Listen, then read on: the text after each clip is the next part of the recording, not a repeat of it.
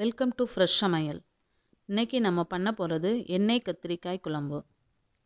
எங்களுடைய சேனல் உங்களுக்கு பிடிச்சிருந்துச்சின்னா லைக் பண்ணுங்கள் ஷேர் பண்ணுங்கள் சப்ஸ்கிரைப் பண்ணுங்கள் மறக்காமல் பெல் பட்டனை கிளிக் பண்ணி ஆல் கிளிக் பண்ணிக்கோங்க. அப்போ தான் அடுத்தடுத்த வீடியோக்கள் உங்களுக்கு வரும்.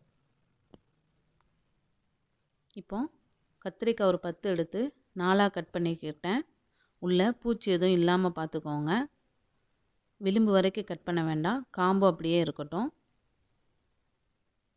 ஒரு கப்புக்கு வெங்காயம் எடுத்து வச்சுருக்கிறேன். ஒரு கப் தக்காளி பெரிய நெல்லிக்காய் அளவுக்கு புளி ஊற வச்சுருக்கிறேன். வெந்தயம் அரை ஸ்பூன் சாம்பார் பொடி ஒரு ஸ்பூன் மசாலாத்தூள் ஒரு ஸ்பூன் மஞ்சள் தூள் அரை ஸ்பூன் கடுகு ஒரு ஸ்பூன்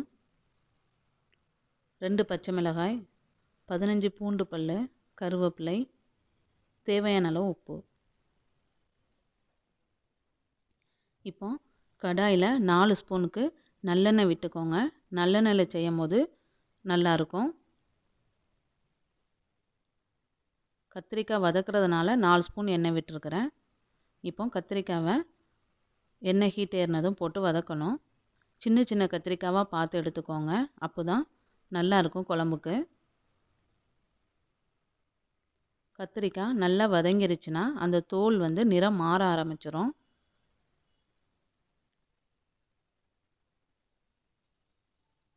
இப்போ கத்திரிக்காய் வதங்கிருச்சு.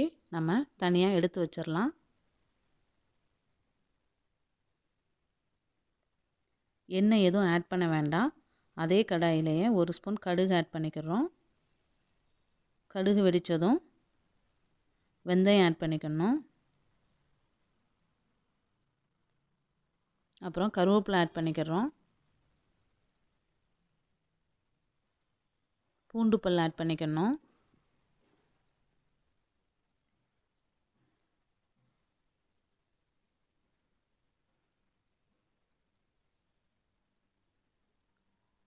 சின்ன வெங்காயம் ஆட் பண்ணிக்கோங்க. அப்போ தான் நல்லாயிருக்கும். உங்கள்கிட்ட சின்ன வெங்காயம் இல்லைன்னா பெரிய வெங்காயம் போட்டுக்கோங்க.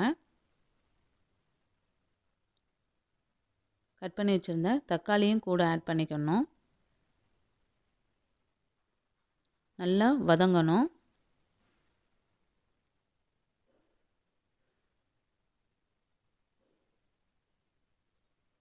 ரெண்டு பச்சை மிளகாய் ஆட் பண்ணி தேவையான அளவு உப்பு போட்டுக்கணும். அப்போ தான் தக்காளி வெங்காயம்லாம் ஃபஸ்ட்டே போடுறதுனால வதங்கிடும் ஒரு ரெண்டு நிமிஷத்துக்கு மூடி போட்டு குக் பண்ணணும்.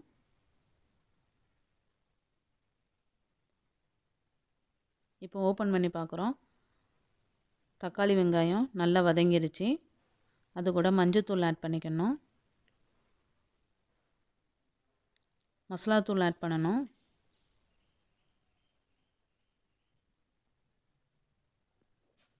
சாம்பார் பொடி ஆட் பண்ணணும்.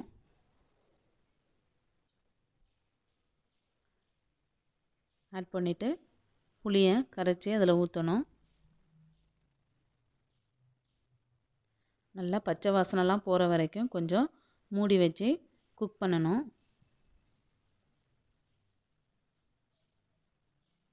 இந்த கத்திரிக்காயில் நீர் சத்து இருக்கிறதுனால சருமத்தை மென்மையாக்கும். விட்டமின் சி மற்றும் இரும்பு சத்துக்கள் உள்ளன. கத்திரிக்காய் நரம்புகளுக்கு வலுவூட்டவும் சளி இருமலை குறைக்கவும் செய்கிறது. இப்போ நல்லா குழம்பு கொதிச்சிருச்சு. அது கூட நம்ம ஃபஸ்ட்டே வதக்கி வச்சுருந்தோம்ல அந்த கத்திரிக்காவை ஆட் பண்ணணும்.